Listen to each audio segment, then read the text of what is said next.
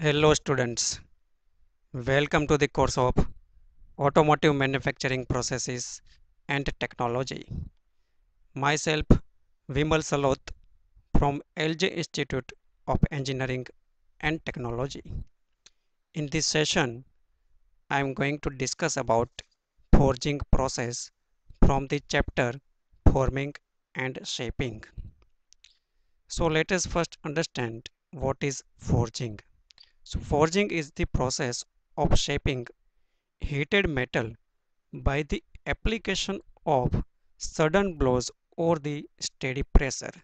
So first metal is heated in case of hot working process and if it is cold forging then it may be carried out at room temperature. So after that sudden blows of the hammer are applied or a steady pressure is applied to that heated metal to get the desired shape and size. That is the forging process. Now it may be done by hand or machine. So let's understand the concept with a simple diagram. In first stage it is a workpiece and it is placed in between two dies lower die and upper die. Lower die is fixed it remains stationary and this upper die is movable. It can be moved in vertical direction. So we can consider this part which is movable and it can be moved with the help of some mechanism. One common mechanism is shown here which is known as gravity hammer or board hammer. So this upper part is attached to this board or the gravity hammer and sudden application of a blow is take is taking place and the size of this workpiece is reduced to this size which is visible in this second figure. So by that way the required shape and size can be obtained. Now let's see types of the forging process so first type is according to the working temperature. It may be hot forging or cold forging. Then according to process or die forging, there are subtypes like open die forging, closed die forging and flashless forging. And according to the method of applying blow, it can be classified in two types that is impact forging which is done by the forging hammer.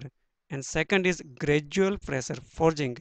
In this process the pressure is applied gradually and continuously with the application of the forging press. Now let's see open die forging. So in case of open die forging the die is in two part.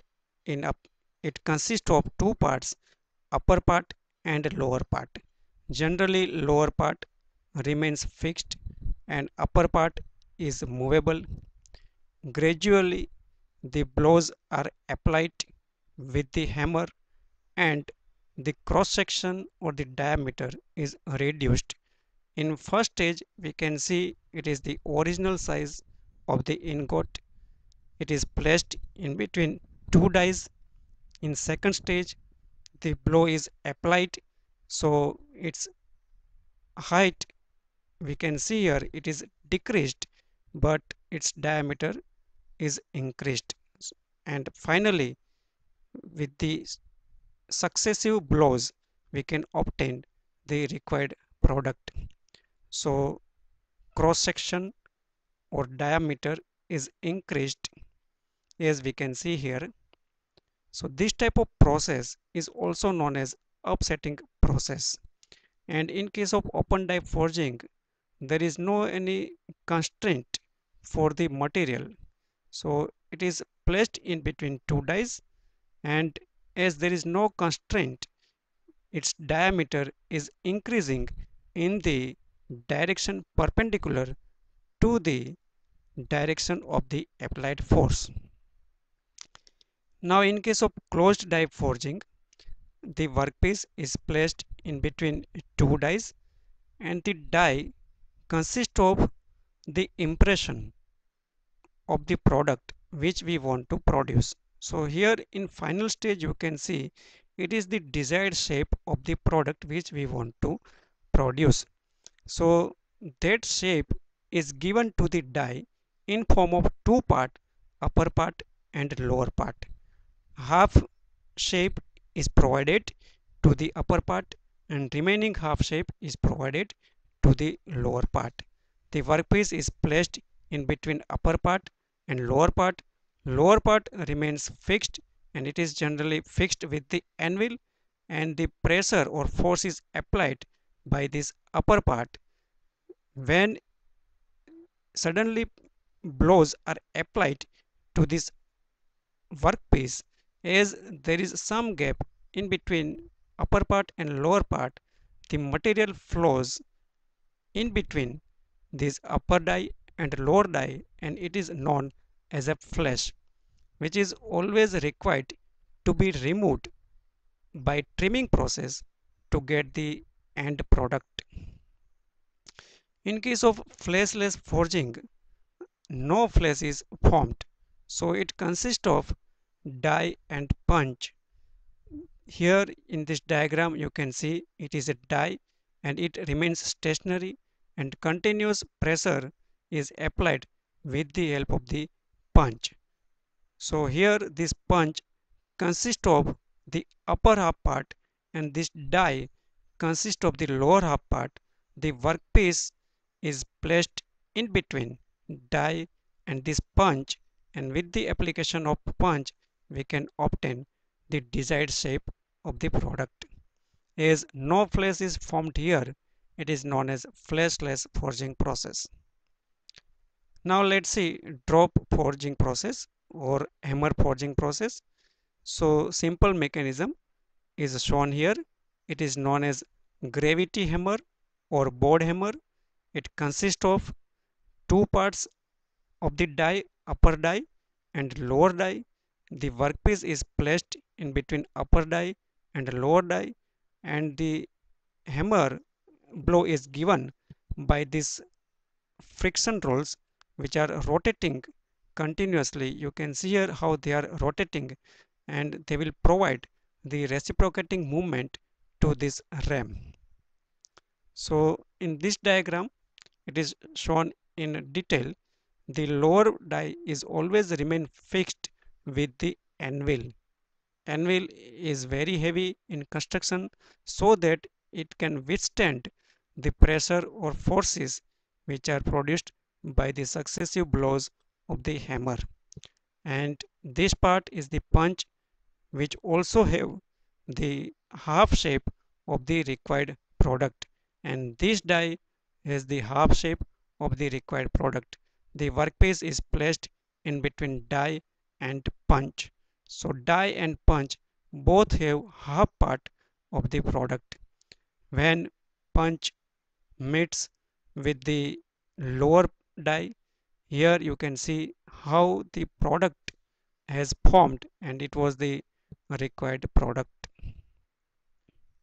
so the energy which is possessed by the gravity hammer is given by the equation mgh and it is a potential energy so here this potential energy is a function of the height the required energy level can be increased or decreased with the adjustment of the height.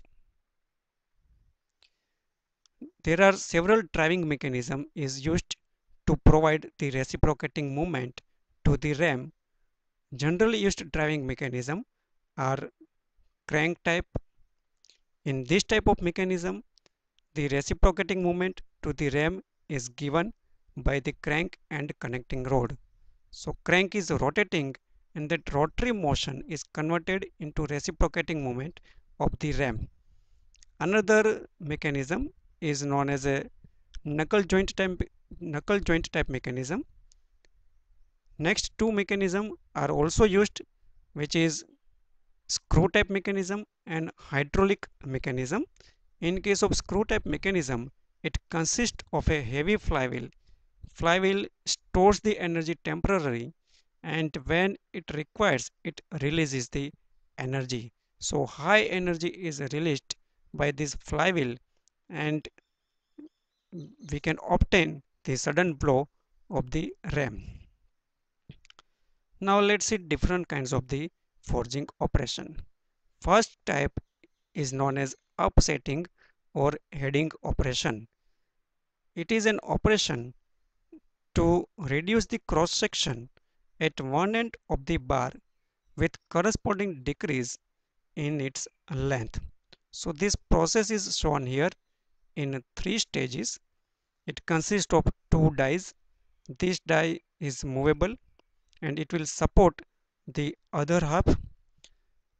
These parts are actually stages stage 1 stage 2 and final stage number 3 we want to produce a head like shape on this bar so in first stage this ram is moving in this direction so force is applied to this length and its length will be decreased diameter will be increased further process is continued in second stage and finally in the third stage we can get the required shape of the head. So this process is known as heading or upsetting process. Here we can see the dimension, which dimensions are necessary. So if we consider diameter d of the bar, then the maximum length required for upsetting that is L equal to 3D. So that much length is required to produce a head on the bar these are some of the examples how the rivets or bolt heads uh, can be produced. Next operation is bending operation and it is performed by the hammer and the anvil. So anvil is used to support the workpiece and hammer blow is given at the particular location to perform the bending operation. So bending coil, by bending operation, coil can also be formed. Next operation is fullering operation. It is an open die type operation. So in this process, it is an operation to reduce the cross section and to redistribute the metal in a workpiece. Here we can see in the diagram, these are two parts of the die. It is a workpiece so when force is applied, the material is flowing outward from the localized area. So this type of the process is known as a fullering process and the dies which are used in this process are having convex surfaces. The shape of the surface is convex. Next process is edging process it is similar to fullering process, but the difference is that the material is gathered in a localized area. Then cogging operation or sometimes it is also known as a drawing out operation. So it is an operation in which thickness is reduced in successive forging steps. So here we can see these are the two parts of the die and the workpiece is pressed in between these two dies. The dotted lines which are shown here in this diagram they indicate the successive steps for the process and by this process we can obtain the required shape and size of the so in this session we discussed about forging process. What is forging process? What are the different types of the forging process? Like closed die forging open die forging flashless forging. Then what are the different driving mechanism? Then what are the different types of the forging operations like fullering operation edging operation upsetting operation cogging operation etc Thank you. for watching.